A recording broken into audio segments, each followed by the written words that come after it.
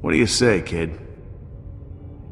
This is the only room with the override port, so if you don't jack in now, you'll never get another shot.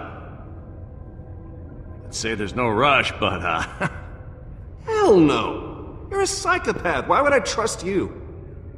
After all the times I tried to help you, after all we've been through, you refuse everything you've ever wanted? Oh, I knew you were an idiot the moment you plugged me into your empty little head. You know you died alone, right?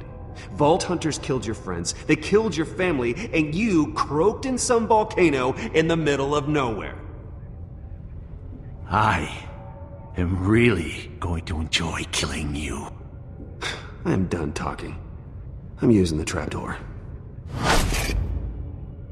No.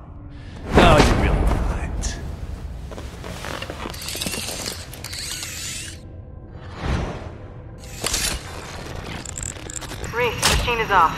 Did you get the beacon? We're ready for you. Oh, you really shouldn't have told Fiona. Because now, after I'm done with you, well, I'm gonna have to kill her. All good. Just getting getting into into position. What are you doing? Oh, I can't believe how long I was stuck inside that empty little head of yours. God, it's good to be out. Woo! Well, that shit's done. I'm everywhere in the system now.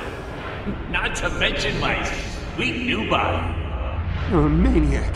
No, I am handsome goddamn Jack! Jack! Jack! Jack!